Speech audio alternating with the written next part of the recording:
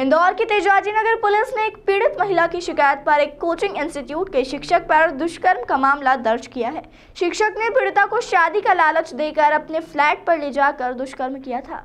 दरअसल इंदौर शहर में दुष्कर्म की घटना रुकने का नाम नहीं ले रही है। वहीं गुरुवार को एक पीड़िता ने तेजाजी नगर पुलिस को शिकायत की थी कि इंदौर में एक कोचिंग इंस्टीट्यूट संचालित करने वाले शिक्षक ने पीड़िता को शादी का झांसा देकर अपने फ्लैट पर ले जाकर कई बार दुष्कर्म किया था।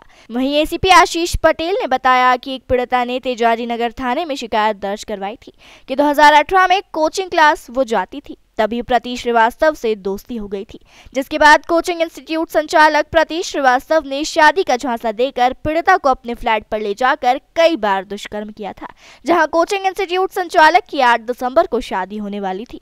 तभी पीड़ित ने शादी के कार्ड पर उसका नाम न होते हुए दूसरी लड़की का नाम देखा तो तुरंत तेजाजी नगर पुलिस को शिकायत दर्ज करवाई थी।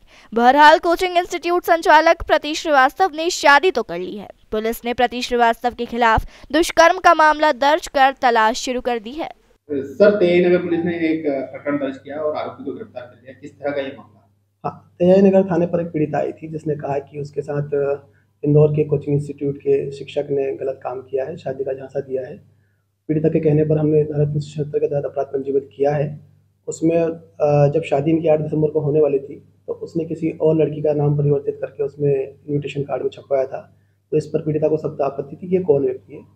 तो कपिल श्रीवास्तव नाम का शिक्षक है। उसने शादी का झांसा दिया था और उसने पीड़िता से शादी न करते हुए किसी अन्य लड़की से शादी की। सर किस तरह से जान पहचान हुई थी पीड़िता की पीड़िता का ये कहना है कि पढ़ने जाती थी वो 2018 में पीएससी की तैयारी करने इंदौर आई थी।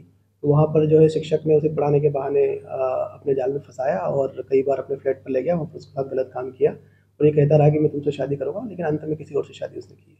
शिक्षक जो मेरिड था या अनमेरिड था? ये अनमेरिड था, इसने शादी अभी आठ दिसंबर को की है, लेकिन किसी अन्य लड़की से की